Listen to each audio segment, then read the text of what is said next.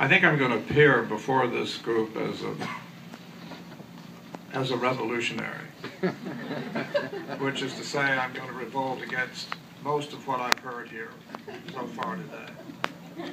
Um,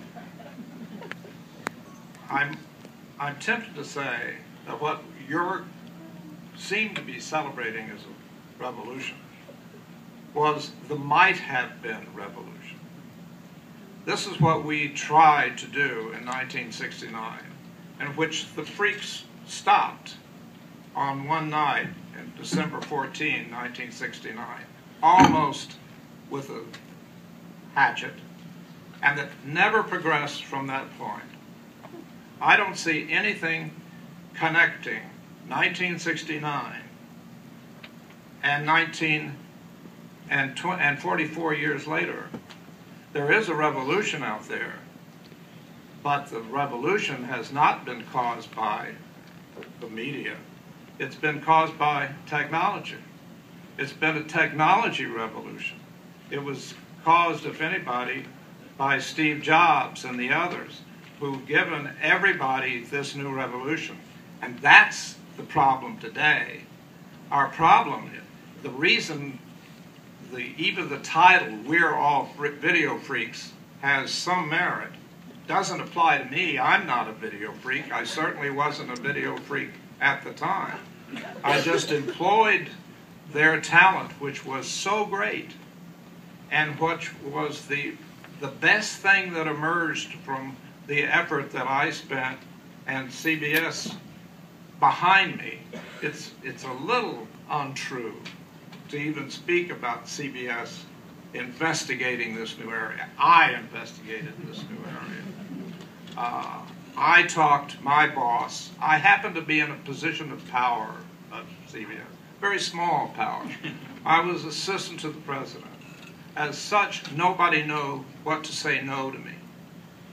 And when the Smothers Brothers came along, Mike Dann, the head of programming, came to me and asked me to help him uh, keep the Smothers Brothers on the air. They were about to be thrown off the air. I, I did, but three weeks later they were thrown off the air anyway. Then they came to me and said, I'll write a white paper to explain why CBS uh, threw the Smothers Brothers off the air. That was a pivotal moment in television history because we then did surveys at CBS that said that 50% of the audience objected to their being thrown off the air, but not 50% of the affiliates. The affiliates wanted it thrown off the air. Certainly the medium was not ready for that. But I went back to Mike Dann. I had been talking for years with Frank Stanton, my boss, about a concept that I had called the real world. I haven't seen a lot of the real world really on these screens today. I see a little self-indulgent world of people having fun, doing, wasting their time and, and other people's uh, resources for 44 years, for God's sake.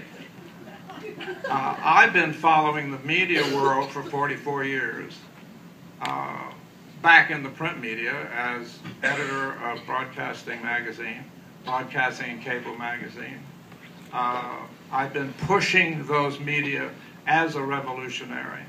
Re- revolutionary in the sense that I tried to make it possible to encourage the adoption of new technologies. I'm still, I'm now the president of the Library of American Broadcasting. And one of the things that I did write down was, in, in David's opening remarks was that there, uh, there is no television and radio anymore. They're only media. I I haven't accepted that, um, and maybe I should accept it. When the Paley uh, organization began as the Museum of Television and Radio, then uh, I'm sorry, uh, Museum of Broadcasting. Then it changed its name to uh, the Museum of Television and Radio in order to get cable uh, in the in the loop.